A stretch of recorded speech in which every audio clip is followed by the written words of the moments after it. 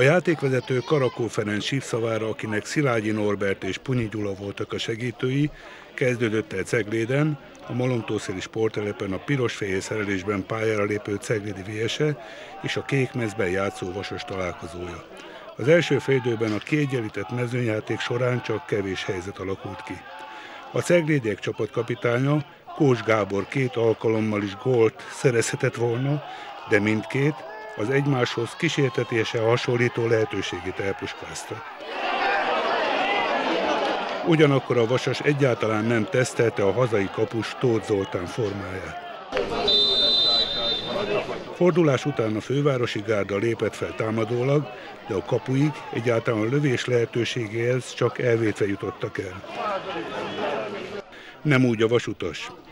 Így egy gyors kontratámadás végén, a 47. percben Kós lőtt alig mellé, a 61-ben pedig Kont Zsolt felé tartó bombáját a már vert Hermány Bence helyett a kapufa mentette. A két eset között az 56. percben maradt ki a Vasas talán egyetlen igazi gólszerzési lehetősége, szöglet után Rodenbücher István fejelt mellé.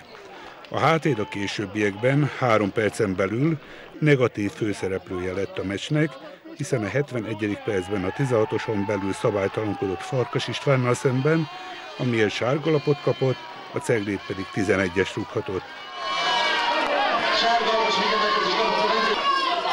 Kós állt a labda mögé. A jobb alsó sarkot célozta meg, Hermány védeni tudott, de csak középre tudta kiütni a labdát, az ismétléssel szemben pedig már tehetetlen volt. A 74. percben Rodenbücher megkapta második sárgalapos figyelmeztetését is, a négyben kiállítást is ért. A szabadrugást Konc végezte el, melyből mesterien csavart a hosszú sarokba. A későbbiekben már nem esett újabb gól, így a találkozót 2 0 kiesés ellen harcoló Ceglédi VS nyerte meg, a bajnoki cím egyik várományosa a Vasas ellen.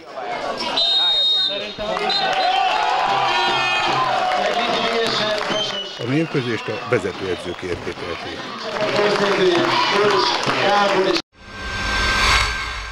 Elsősorban annak köszönhető, hogy a két vesztes mérkőzésből is tudtunk táplálkozni. Tulajdonképpen akkor is jól játszottunk, meg voltak a helyzeteink.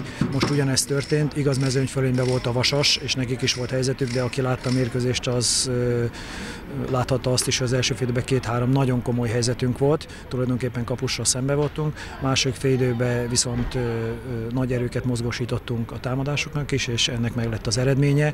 Örülök, hogy a srácok be tudták bizonyítani, hogy lelkesedése, akarással a gyengébb játékerőt képviselő csapat is tud hangos sikereket elérni. Úgy gondolom, hogy MB2-ben minden mérkőzés nagyon nehéz. Ezt így egyértelműen nem lehet kimondani, hogy, hogy mi léptünk volna esélyesként pályára. Az biztos, hogy a táblán elfoglalt helyezésünk alapján nekünk abszolválni kellett volna ezt a mérkőzést, és ha szeretnénk ott lenni a feljutásért folytatott harcban, akkor úgy gondolom, hogy ennél jóval többet kell letennünk az asztalra minden szinten. Hazai csapat úgy gondolom, hogy teljesen megérdemelten gyűjtötte be a három pontot, jobban akarták a, a győzelmet, független attól, hogy, hogy úgy kidolgozott támadásuk nem volt, amiből gólt érettek volna el, kontrára építettek, mi pedig beleszaladtunk a, a saját fegyverünkbe tulajdonképpen, és, és nekünk nem sikerült egy olyan helyzetet se kidolgozni, ami idáig jellemző volt ránk, hogy mérkőzésenként 6-8-szor kerültünk az ellenfél kapuja elé, és hagytuk ki a helyzeteket. Hát ma még ez sem volt, úgyhogy van minden gondolkodni, és van mind javítani.